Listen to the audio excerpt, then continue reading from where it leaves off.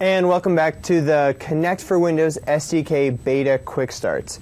So this video is setting up your development environment. It's a short and sweet video, but we're going to refer to this video and all the other segments for the, the typical things you're going to need to do for every project.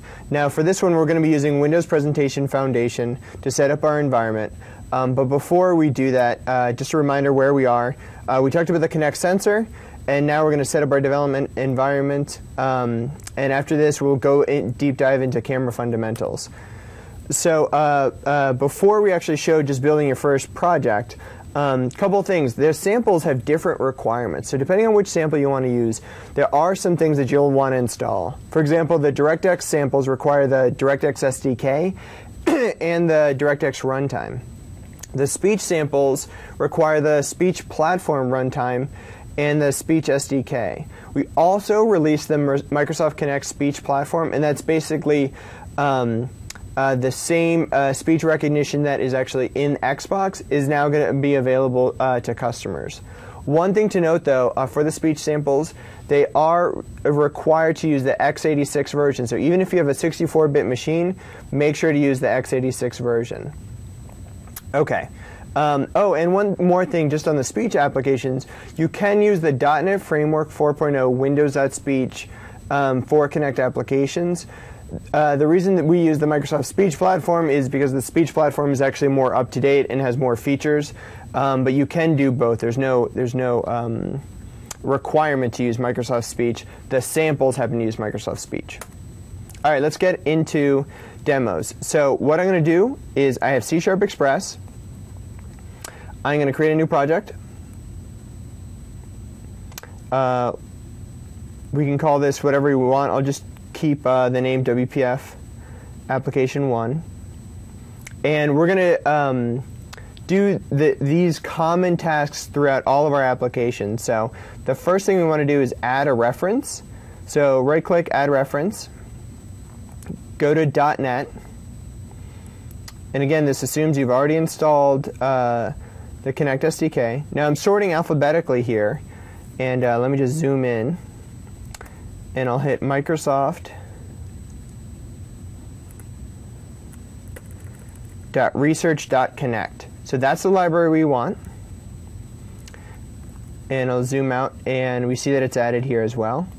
Um, one more library. Uh, we're going to use this in a couple of applications, so I wanted to go ahead and just reference it here is the Coding for Fun Kinect library. So this has uh, a couple helper um, libraries, methods, extension methods, and so forth um, to make your life easier. It's not a requirement, but I'm going to be using it for a couple of the samples. Um, in this case, it's a recent file. Uh, you can download it from c4fkinect.codeplex.com, and we'll have the link as well. So I'm just going to double click here to reference that library, and I see that it's referenced as well. Okay, so with those references, um, I have a main window application, and in all my applications, I'm going to have a loaded and a closed event. So I'm going to jump to the properties window, and let's just zoom in here. Um, so what we want to do, switch to the event tabs, and I'll double click loaded and just zoom out once we do. So that builds the loaded event. Switch back to properties, Zoom back in, and this time we want the closed event. And double click. Okay. So um, for all of our samples, we'll be doing uh, loaded and closed, and I'll show you exactly what we're going to do um, in just one second. The first thing I want to do is make sure um, we hit our using statements. So um, first thing we're going to do is just add a using statement for audio. Microsoft.research.kinect.audio. Next is uh, Microsoft Research Kinect.NUI, and that's Natural User Interface.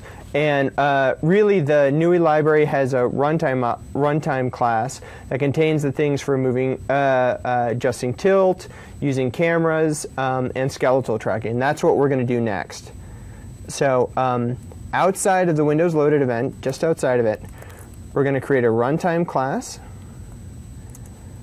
and we'll call it NUI equals new runtime.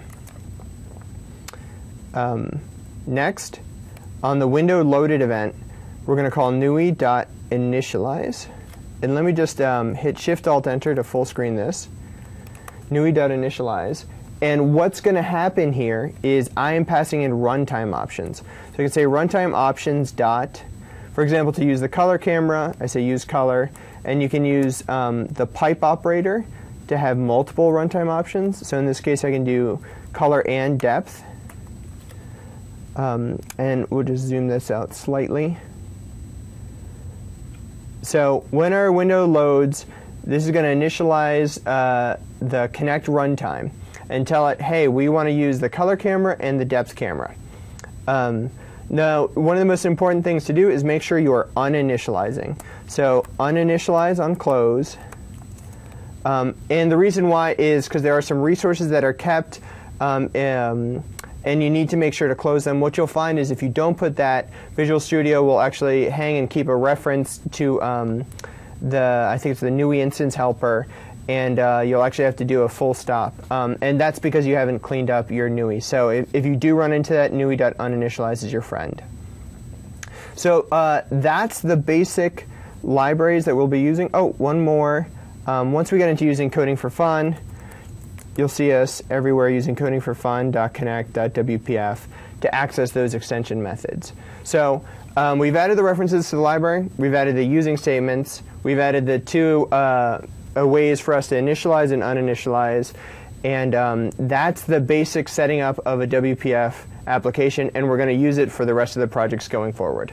Thanks.